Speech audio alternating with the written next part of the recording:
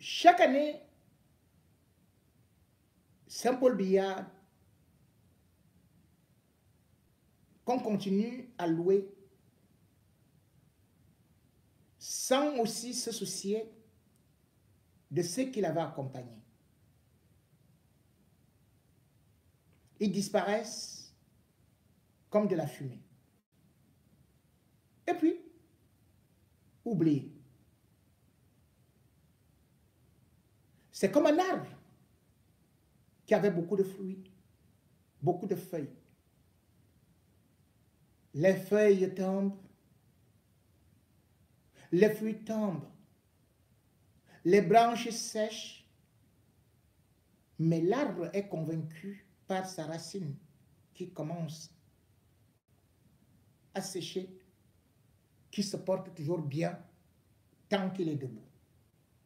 Sauf qu'il suffit d'un vent assez violent pour que cet arbre-là soit renversé, fut-il un baobab qui peut d'ailleurs être monté, déraciné, renversé par les termites.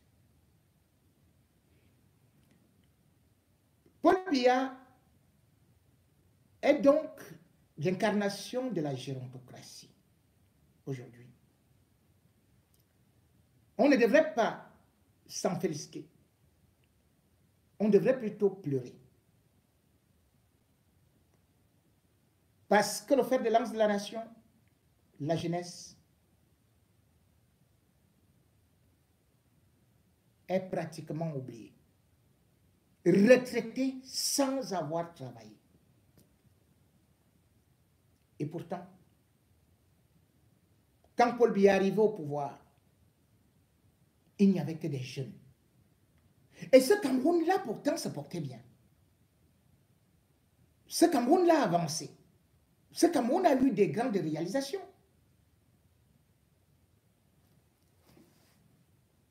Le premier gouvernement fédéral du Cameroun, du temps d'Alidjo, nous sommes le 20 octobre 1961.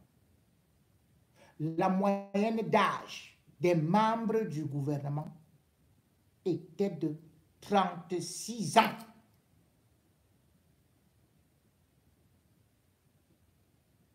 Et demi. Vous connaissez un ministre au Cameroun qui peut avoir 36 ans et demi? J'ai dit la moyenne d'âge de ce gouvernement-là.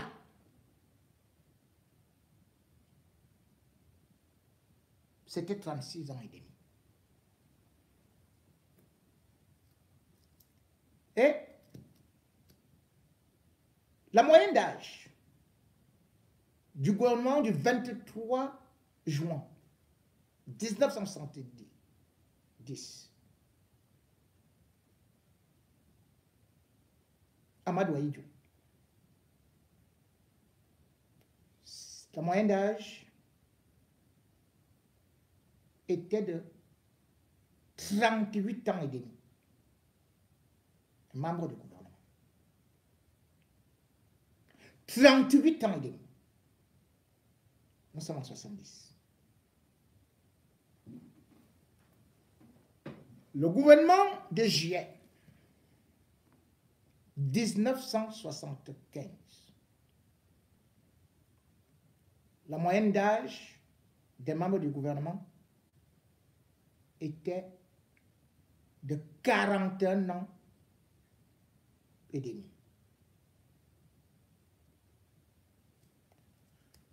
et le dernier gouvernement d'Amadou Aïdjou avant de démissionner, nous sommes déjà en 1980.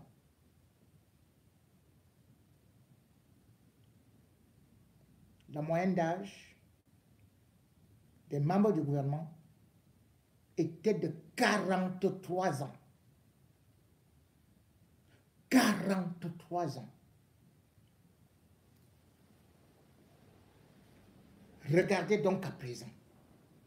Vous jeunes qui me combattez. À 33 ans, vous êtes chez vos parents. À 40 ans, vous êtes chez vos parents. Vous êtes sur les motos. Avec des grands diplômes. Vous vendez de l'eau. Vous vous contentez des bouts de pain avec la sardine. Vous portez l'habit du parti de Paul Biya. Et vous nous combattez. Vous venez avec les têtes de mort sur mes directs pour vite m'éteindre. Et si on vous donne même un peu d'argent, allez. Vous dites qu'on est prêt à tout pour tuer. Regardez ce que Paul Biya donc fait de ce pays. Le pays, en faisant qu'il soit dirigé par des morts vivants, Paul Biya aujourd'hui est en danger. Toutes les institutions sont défaillantes. Regardez l'Assemblée nationale où Kavaye Yege Djibril est quand même député depuis 1971. Dans quel état il se trouve aujourd'hui? Ça vous fait rire? Mais quelle image le Cameroun donne à l'étranger Ça vous fait peut-être rire de voir Nyat Fendi marcher comme ça avec une épaule qui fait comme le coq qui est en train de traquer la poule. Il marche incliné. Mettre le piquet d'un côté pour qu'il ne tombe pas. Il ne connaît même pas la date. S'il dort aujourd'hui, on, le réveille après seulement deux jours pour dire que mange quand même, mange.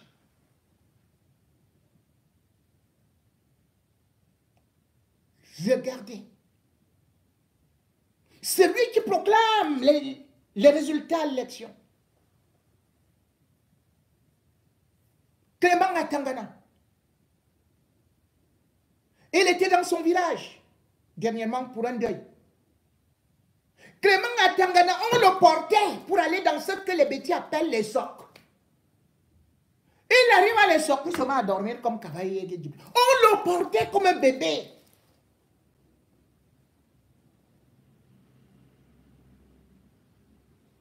On le portait comme un bébé. Mais vous allez le voir, on va venir avec cette momie-là en 2025. Il va dormir là, et tout, et tout, et tout. Il va seulement, dès que Maurice de finir de parler, ou bien notre opposant, ou moi-même, seulement, il va, on, va, on va seulement le réveiller. On dit, parle, parle, parle. Irrecevable. Irrecevable irrecevable. Et c'est eux qui dépensent tout l'argent du contribuable camerounais.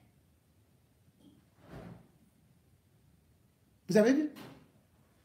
Voilà un retraité qu'on a pris pour venir diriger les institutions. Et qui arrive là? À peine il déclare que Paul Biya est vainqueur de l'élection qu'il a volée. Paul Biya lui dit le lendemain, c'est-à-dire le 23 octobre 2018, que bon, allez, dites-lui que on va, le ministre de l'économie et de machin va lui offrir une maison à Bachbos. Ah oui, il a bien travaillé, il va, avoir une maison de 279 millions.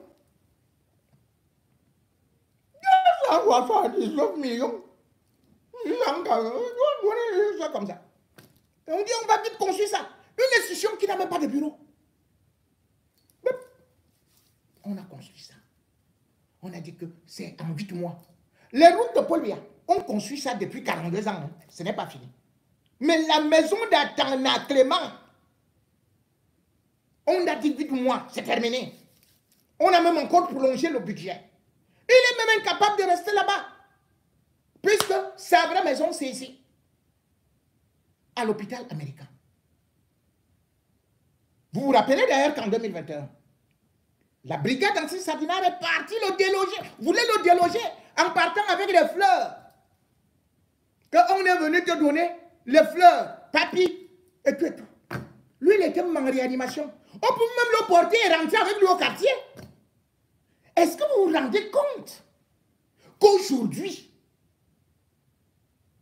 tous ceux qui sont, qui ont des postes clés du régime Bia sont actuellement soit morts, soit hospitalisés en France.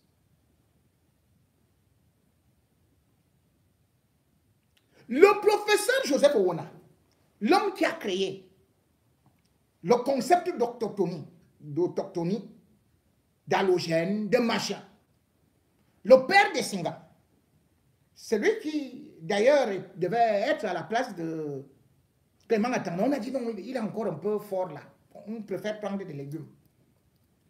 Et quand on a vu qu'il se fatiguait déjà, on est parti le chercher avec son fils hein, au. On les a nommés au Guinée, c'était le. On a nommé le professeur au, le 15 avril 2022 membre du Conseil constitutionnel. Guinée son fils le 22 avril 2020. Vice-recteur de l'université. Ceux qui aujourd'hui veulent défendre Hubert Mononjana. On a c'est qui devant Hubert Mononjana. Soit on sait. Mais Hubert Mononjana, je dis rien. On prend ce monsieur-là, Oona, Joseph. Appelons le nom. Vous savez combien de fois il est déjà venu en France? Pour se soigner Avec l'argent du contribuable camerounais. À l'instant où je vous parle, vendredi surpassé, Joseph Owona est encore venu avec son épouse burkinabé. Il est actuellement hospitalisé. Au niveau de l'hôpital américain. Oui, Joseph Ouna. Et je crois que comme il ils sont en train de me regarder là, on va lui demander de partir vite. On va lui dire de sortir vite. Joseph Ouna est là, avec l'argent des Camerounais. Il sera quoi? On fait venir des gens pour ceci et cela, comme vous avez vu, euh, euh, euh on dit que sa, sa famille doit l'accompagner avec l'argent du contribuable. Et vous croyez que Joseph Ouona est seul? Non, il n'est pas seul.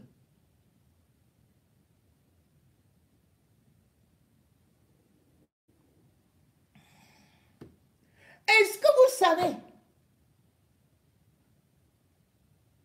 qu'un grand général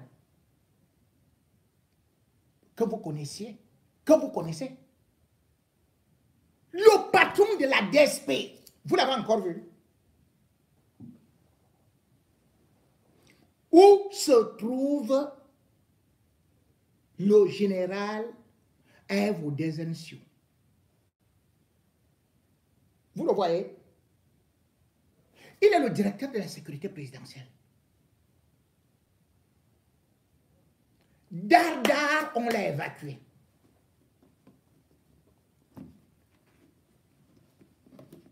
Je vais ouvrir ma boîte noire. Pour vous donner un peu l'état de notre armée? Le général Evo est celui pourtant qui est supposé protéger Paul Biya. il n'est pas au Cameroun depuis plus d'un mois, plus de deux mois, plus de ceci et cela. Il faut seulement que on dise que peut-être on peut, on peut l'amener pour... Euh, si, si, Pédia s'est levé comme ça, on dit que est-ce que tu peux aller aussi au Cameroun faire semblant d'être là et puis tu reviens?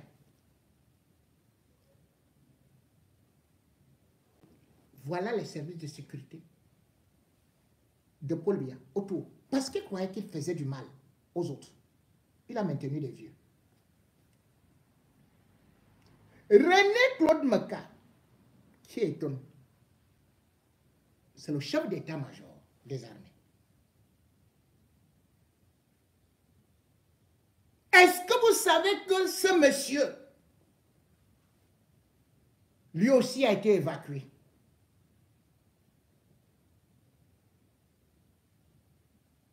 En France, toujours dans leur maison, hôpital américain et non hôpital camerounais.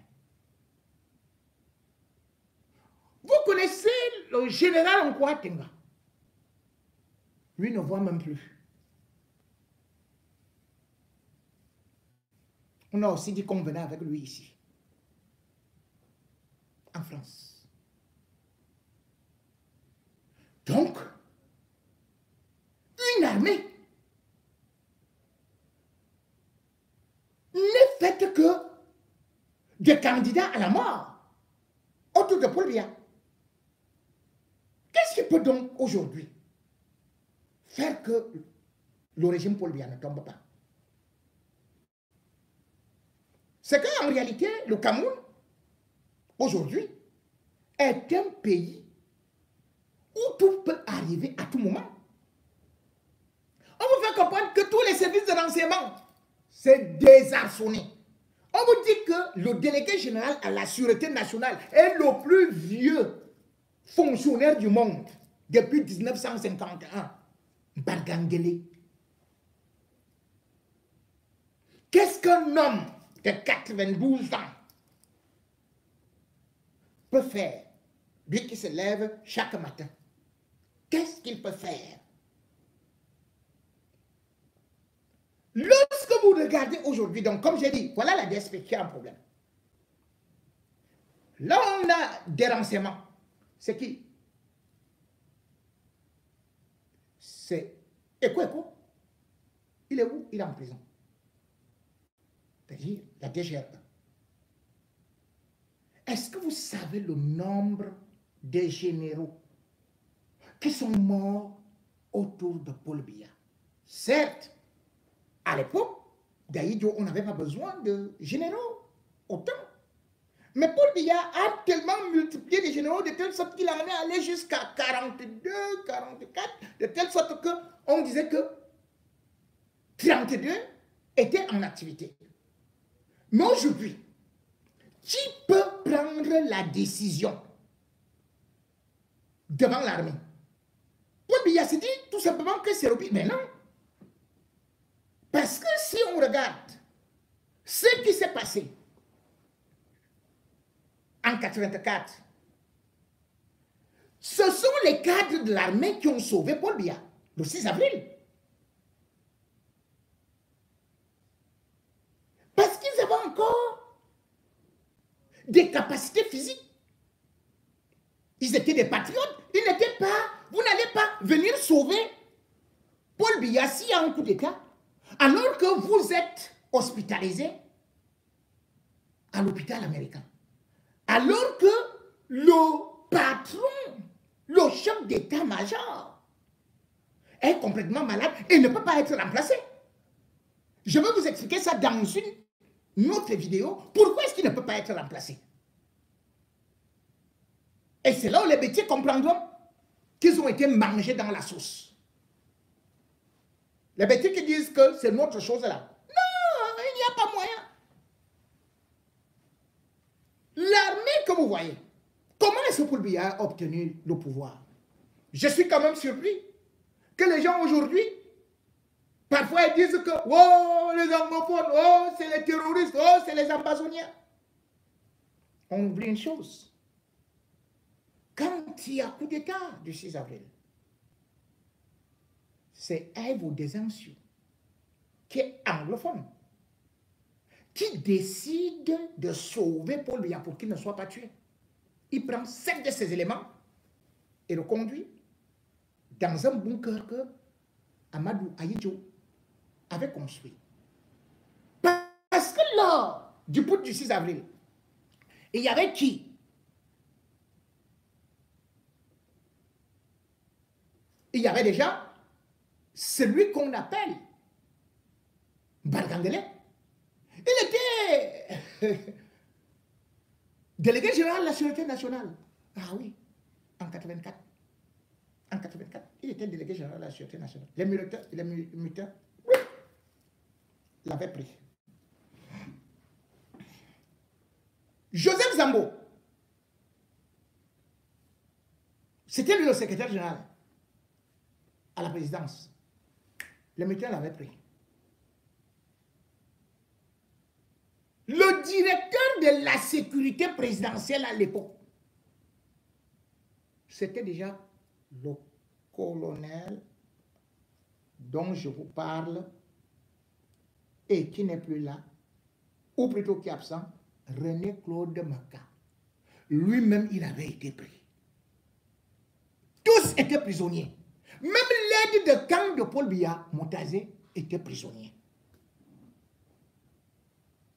Ce n'est pas les histoires que Semongo vous raconte là. Semongo était caché dans... Lui-même, il, il, était, euh, il dormait dans sa douche. S'il n'y avait pas eu certaines personnes qui avaient vu apprendre le relais pour récupérer le pouvoir, Paul Biya, l'armée le renversait. Ce n'est pas Paul Biya qui fait l'armée. Ce n'est pas Paul Biya qui dirige l'armée. C'est l'armée qui dirige Paul Biya. C'est l'armée qui a sauvé Paul Biya plusieurs fois. Et d'ailleurs, dans son livre Entretien avec Charles Latéréenne, je crois que le général Semengue qui prétend que oh, le 8, le 8, dimanche le 8 avril, je suis tout simplement parti au palais avec mon arme. J'ai dit au président de la République, bon, ça y est, euh, tout est fait. Maintenant, les gens avaient peur de moi que je partais prendre le pouvoir. Tu partais prendre le pouvoir où? Toi, tu étais caché dans les, toilettes. C'est les autres qui avaient travaillé. C'est les autres qui avaient travaillé. Ce n'est pas C'est James qui coordonnait les opérations comme chef d'état-major. Alors que ce poste revenait à ce monde qui avait été le seul général pendant 42 ans. C'est Cato James qui coordonnait et non le général Semonga. Qui était parti récupérer, par exemple, des postes stratégiques tels que le poste national, la maison de la radio de la CRTV, et surtout le quartier général. C'était un autre colonel, Samobo. Il s'était réparti. Il y avait celui qui est même devenu par la suite euh, l'homme de de Paul Biala, c'était le Titi Sebo. Le colonel Titi Sebo. C'est lui qui avait récupéré l'aéroport. Donc, eux tous, ils étaient là. Ils étaient là. Ils étaient prêts. Ils étaient prêts. Le, je crois que même défaut, c'est lui qui contrôlait euh, les communications à travers la zone des Amangouis. Ça fait que quand les militaires avaient parlé, leur discours n'était pas, n'avait pas une grande portée. Et du coup, ça a permis aux autres, tels que euh, euh, le, le, colonel Mpaï qui était à Douala, de mettre les chars dans les wagons de train pour venir avec ça à Yaoundé. Et même Edouard et, et Tondé, je crois, et et Kota. Il était déjà à la retraite. Il était venu, c'est lui qui avait porté une main forte à ce qu'on peut appeler le, haut commandement. Puisque je dis bien que le général Semongue n'était pas là. Voilà les gens qui avaient sauvé Paul Biya. Et s'ils sont encore là. Entre-temps, Paul Biya à multiplier les généraux. Lorsque vous regardez maintenant ce qui est en train de se passer au Cameroun, tout peut tomber à tout moment. Le pouvoir est dans la rue. Et il suffira d'une toute petite étincelle. Parce que Paul Biya n'a pas su anticiper et parce qu'il a voulu conserver les vieux jusqu'à ce qu'ils en sont morts. Je vais vous dire, par exemple, l'armée de Paul Biya, ses généraux. C'est-à-dire que personne ne sait plus. Ceux qui sont seulement. Attendez, je vais vous lire. Vous avez par exemple toujours Nganso. Parce que tous ont été promus, euh, promus généraux à plein par Paul Biya. À partir de juin, euh, je crois à partir de juin de 1982. 84, 83, euh, voilà, et tout et tout.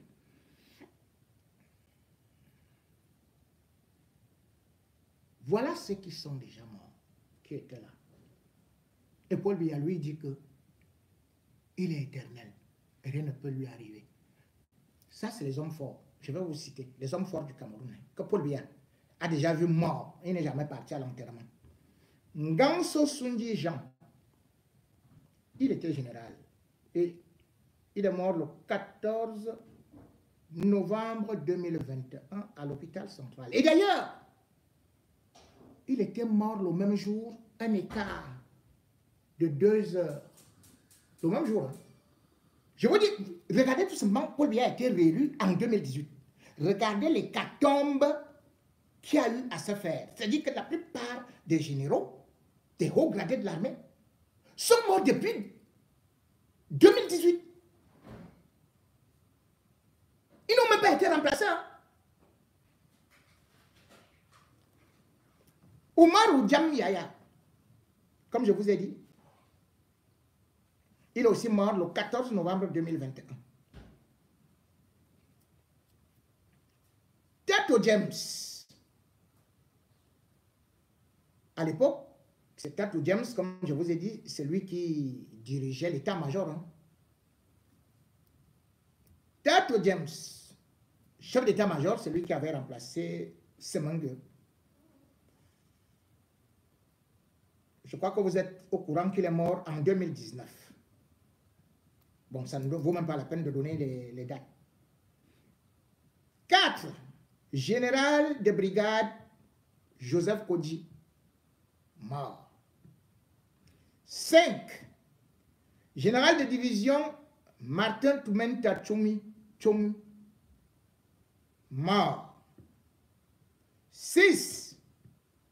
Général Pierre Samobo, dans le royaume de l'au-delà. 7. Général de division Assueman Benoît au royaume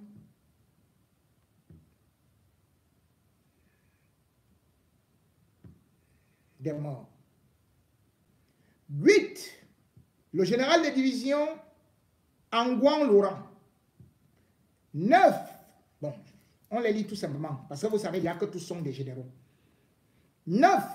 Abdoulaye Oumarou Garoua. 10. Blaise Benaye Mpeke. 11. Gabriel Taka Songola. 12. Roland Mambou Defo.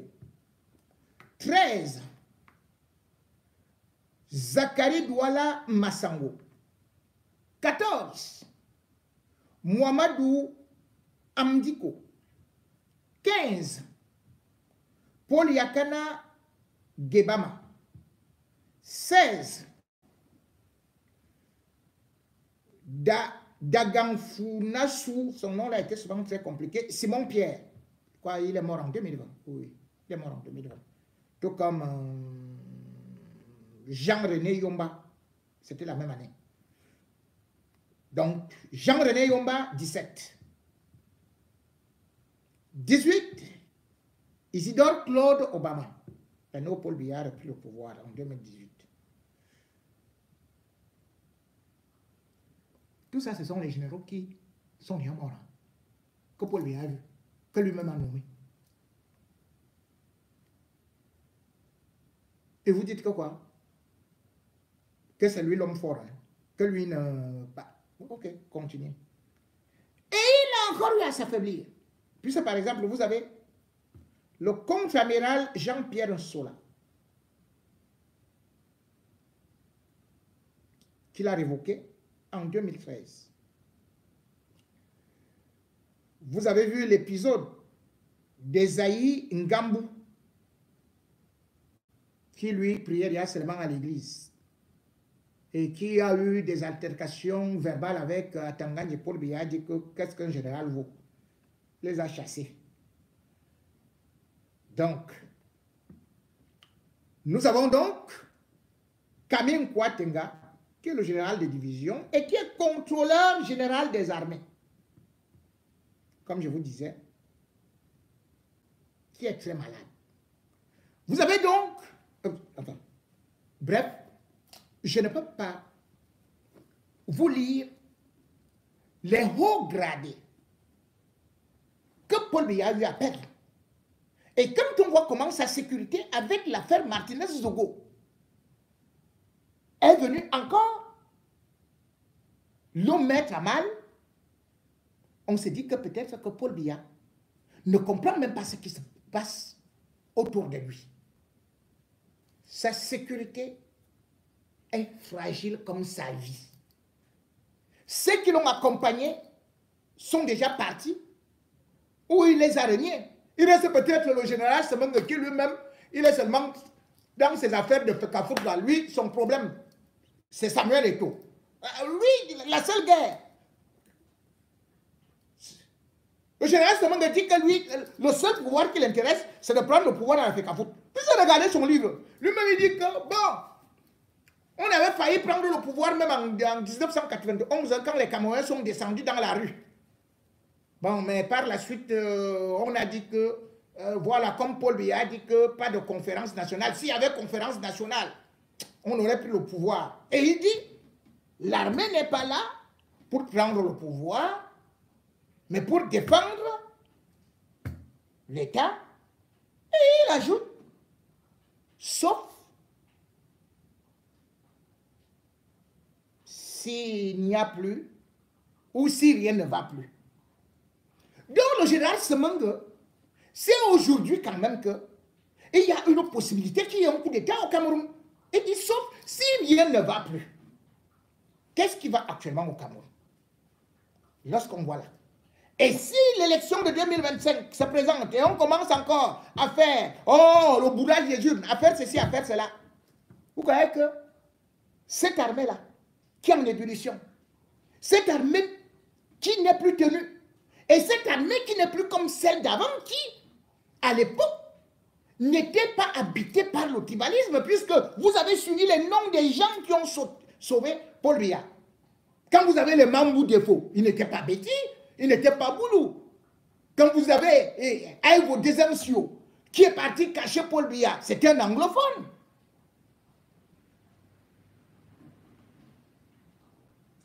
Quand vous avez les Edouard et Koto qui sortent de la retraite, ce n'était pas par rapport à l'ethnie. Mais aujourd'hui, Paul Biya a transformé son armée en, un instrument ethnique et il s'est dit que il est protégé par l'obir. Or, il oublie. L'obir, ça appartient à Tal, c'est-à-dire Israël. Et Paul lui a oublié une chose. Israël et la France, c'est comme ça.